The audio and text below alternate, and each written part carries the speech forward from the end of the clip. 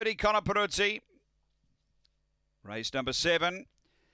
The light activated. We're set to race. Connor Peruzzi is the $1.30 favourite. Racing speed here. Connor Peruzzi's going to drive and look for the front from Ishmael Lady. Peruzzi Baloney burning through as well. And then Dinaratus, the quartet swing to the back. Leader is Connor Peruzzi, taken on by Peruzzi Baloney, who moves up. So the kennel mates go down the back together. Five away, Dinaratus and Ishmael Lady down the back. And it's Connor booting through underneath Peruzzi. Connor Peruzzi from Peruzzi Baloney. Four away, Ishmael Lady and Dinaratus turning for home. Connor Peruzzi getting clear now from Peruzzi Baloney. And Connor Peruzzi drew away to win it by three. Make it four in the line. Ishmael Lady second. Peruzzi Baloney third. Diner Artist is fourth and last. Time here is around 30-10. Uh, too good here.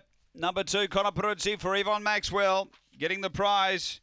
Number two, back-to-back wins as well. Last start, uh, circle win at Murray Bridge. Second to eight, Ishmael.